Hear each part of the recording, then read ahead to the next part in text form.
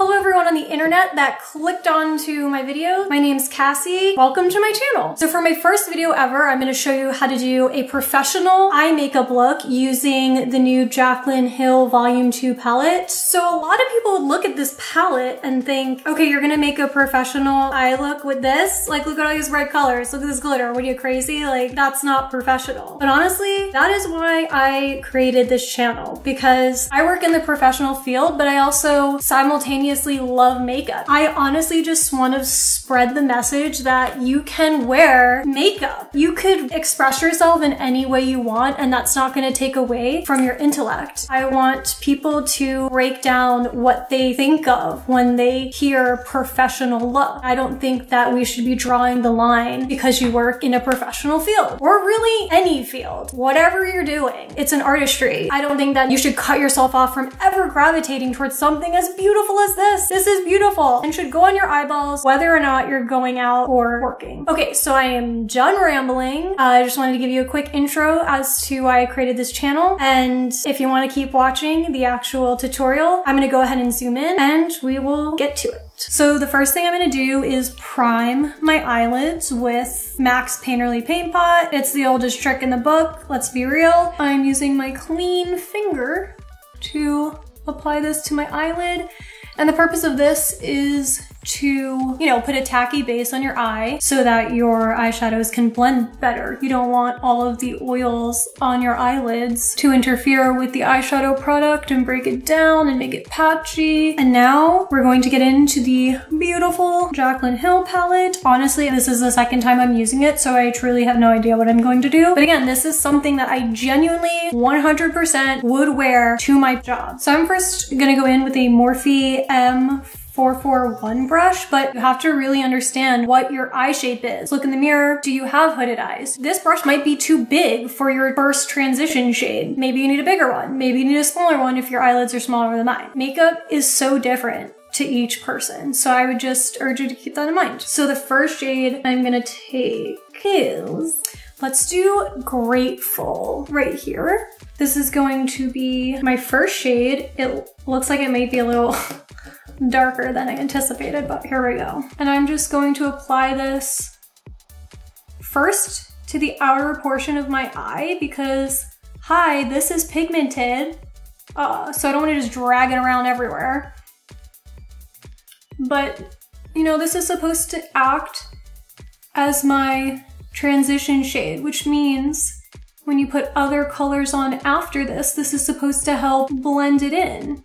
You know, arguably you're gonna go for sort of a gradient. I don't like to put too much color on the inside, just enough to blend everything out. And I sort of like the pulled out wing type look, so I typically drag mine out on the outer corner.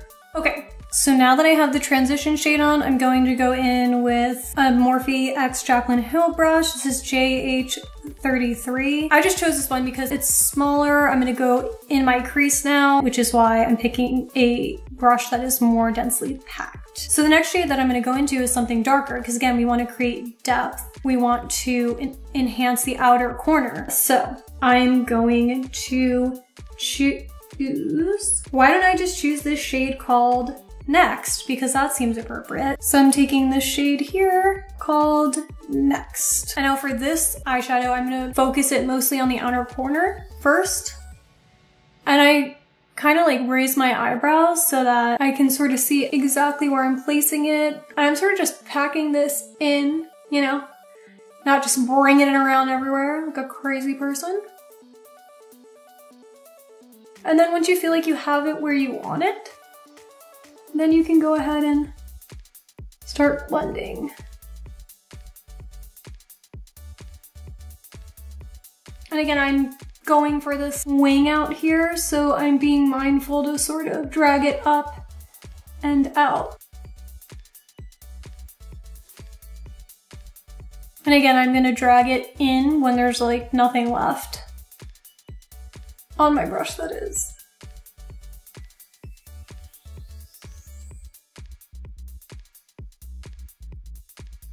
Okay, now I'm gonna go back into the first shade we grabbed, Grateful, just a little bit to diffuse that color we just placed out. Focusing more at the top above the crease, just again to create a gradient, diffuse that sort of red plum color we just placed.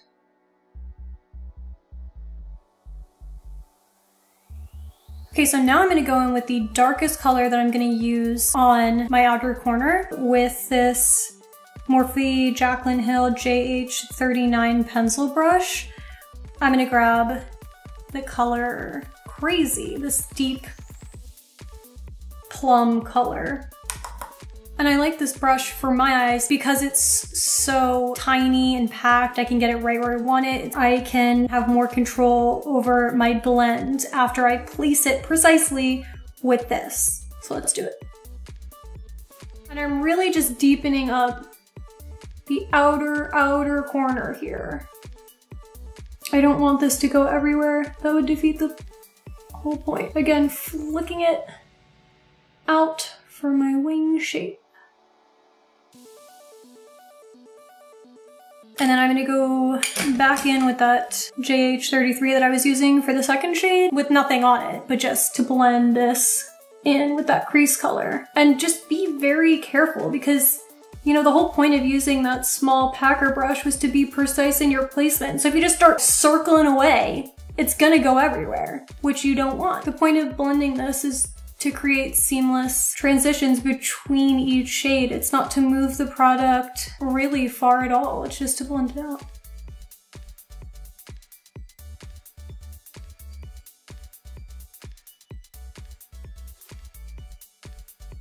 Now I'm going to put a metallic shade that has, I think, sort of like micro glitter in it, which is just so pretty. So I am going to take on a flat shader brush. I'm gonna take Drama Queen up here. I'm gonna get a lot of that on my brush because I just like the glitter. Okay, so once I have a bunch of that on my brush, I'm gonna take my setting spray and just spritz it because this just makes them pop. Like, yeah, you can apply them without it as everyone always says all the time, but I like using setting spray. It's just a preference thing. Who cares? If you like it more subtle, don't use it. If you like it more dramatic, use it. The end. And then I'm gonna apply this on the inner corner up to where that sort of dark color starts on the outside. It's so beautiful. Yes, please. I love these shadows. Are you kidding? That's pretty. I might even use my finger actually just to build up that shine. Although if you're packing it on with your finger, just be mindful that if you go too ham, it might look textured. It might bring out, you know, wrinkles in your eyelid. It makes it look chunky, not very smooth and pretty, so don't go too crazy. But yeah, that's so pretty. Okay, so now that I have the Drama Queen glitter on my eye, I'm gonna go back in again to that first shade, Grateful, just a little bit to sort of, again, blend everything together, kick off some of the glitter that got a little bit too high, and just make this look cohesive. I don't know why my outer corner is giving me a little bit of trouble today, but what are you gonna do? Okay, so the last step I'm gonna do for the eyeshadow right now is I'm going to take this really pretty white opalescent shimmer shade. It's called I'm in it here on my finger a little bit just to give sort of a highlight in the middle of your lid. So just dab, dab, dab, dab, dab, dab. Draw some light to the middle of your eye. And it just gives everything a little bit more dimension than just having it be a flat glitter shadow over the whole lid. So now, since I didn't do my foundation or face makeup first, I'm going to clean up the outer corner with makeup remover and a Q-tip. I'm just going to sort of pull my skin a little bit and drag this just to clean it up and make it sharp Are you kidding? That's sharp. And then I take the dry side just because this makeup remover is a bit oily, so I don't want it going everywhere. So you see how sharp this is as compared to this side where it's sort of coming a little farther down past where I would like it. I just kind of want to clean it up, sharpen it up, like this side. Okay, so now I'm going to do a wing liner. It's a little tricky on me because again, my eyes are hooded. So if I were to close my eyes and just draw like a dramatic wing liner and then I were to open my eyes, a lot of it would be hidden in my crease. So I kind of have to do baby wings, but you know, gotta work with what you got. So I'm gonna use the Wet n Wild Mega Liner in black. That was anticlimactic. Sometimes they have different names, okay, don't judge me. So I've been using this, I'm not even kidding, since high school. They changed the, the wand and the formula over the years, but it's still the one that I always use. I think it's $2.99 so that works for me. I just like to make sure I wipe off the excess because it pulls up a lot of product when you first take it out. All right, so I'm actually gonna pull my mirror closer to me. And I think the biggest trick, because you know, you can watch videos of someone describing like the, the outline of how to do it. You start, you know, with the line, draw a triangle down, connect it, all that good stuff. But really, I feel like the most important tip is to not put a lot of pressure. Just be mindful of how much pressure you're applying because at least with the felt tip, if I were to go in with a heavy hand, it's gonna bleed everywhere. It's not gonna go exactly where I want it. So with a light hand, I'm going to go in and I start at the bottom corner of my eye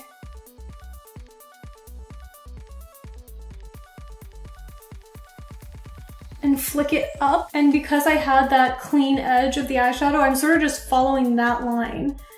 And then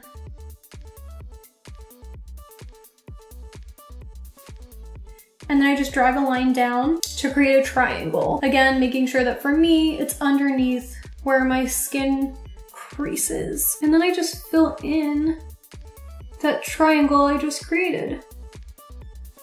So I'm gonna try and get as close to my lash line as possible so that when I open my eyes, it doesn't take over like the black eyeliner doesn't take up my entire eye space. I can still see the eyeshadow I put on.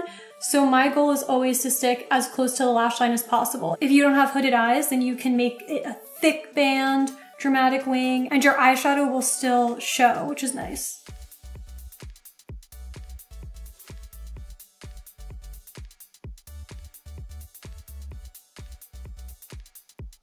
Okay, so now I'm gonna do my face makeup but I'm gonna go ahead and speed it through because it really was about the eye look for this video. So let's go.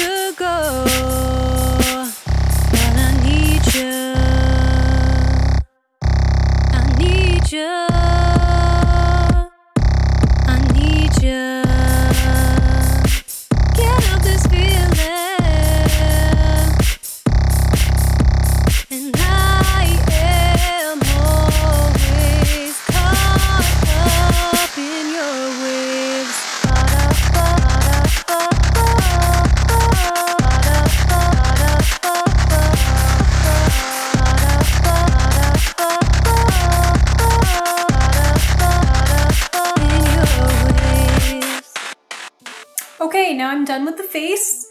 And now we're going to move on to the lower lash line. And honestly, what I normally do, unless I'm doing a crazy pop of color or something, is I'll just mimic what I did on the upper eyelid. So I'm gonna take this smudger brush, and as you can tell, it's again densely packed, straight line, so you can get really close to your lash line. And I'm gonna take that darkest color that we used, which I don't actually think I said the name of it, which it's called Crazy. And again, tap off the excess, and then I'm going to go as close to my lash line as possible. Pack it on, sort of pressing and then wiggling. And I'm not gonna go all the way in, but I'm gonna go far, pretty far into the inner corner. Okay, now I'm gonna use this Morphe Jaclyn JH40 brush to smoke out that plum color. So you're gonna use a lighter color to diffuse that dark color, bring it down a little bit, uh, smoke it out. And I like looking up, just kind of connecting the top to the bottom. Now I'm going to highlight the brow bone as well as the inner corner. And I usually like using my cheek highlighter to do this just so the look is cohesive because I feel like Cookie is a very unique highlighter. So anytime I use Cookie, which is this highlighter shade that I used in this Benefit palette, I like using that on my brow bone as well. And I, again, am going to spray with my setting spray and place on the brow bone. Do you see that? Do you see that? Do you see that? That's intense. And again, on the inner corner as well. And I like keeping the inner corner highlight pretty close to my corner. I don't like dragging it out a lot. Sometimes I'll pull it up and blend it in whatever eyeshadow I'm wearing. Okay, now I'm gonna go back to that first brush I was using with the color Grateful. I'm not gonna put anything else on it, but I, you know, this is kind of a little crazy right now. So I'm just gonna lightly blend it in to that transition color that we first placed. Now I'm going to do my brows and I'm using Urban Decay Double Down Brow Powder and I just use the brush it comes with honestly. So I'm not the best at my brows but I just kind of create the general shape that I'm going for and then fill in. I'm not too meticulous about it or crazy. Maybe that's why I like the powder so much because with the pencil you kind of just have to draw each hair on, but most of the time, I don't have the time for that.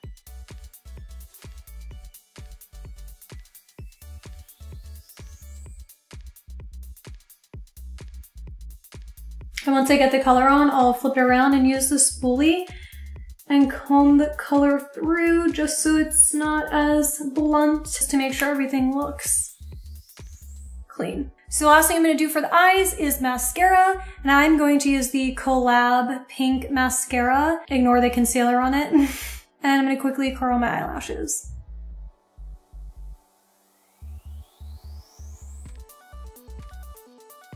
Alright, I'm going to speed through doing my mascara.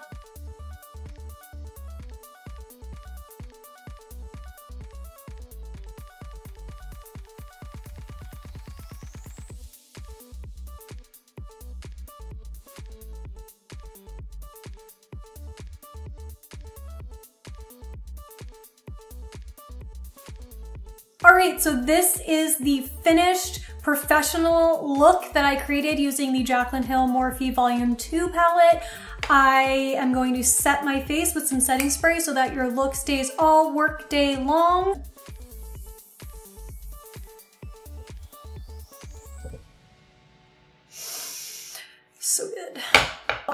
Wanted to create this channel and start off with this video particularly using such a bold palette to create a bold look because if you like minimal makeup, then go ahead, throw on some mascara, throw on a BB cream, throw on some blush.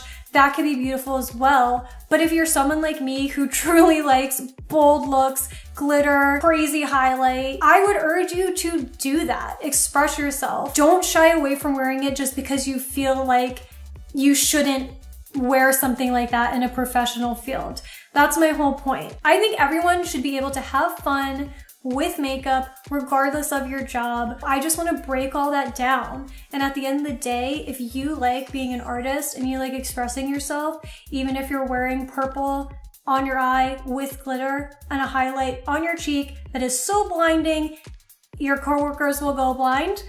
Do it, do it, do it. That is what I stand for, and I really hope that you enjoyed watching this video and hit the subscribe button if you want to see more, and I'll see you next time. Bye.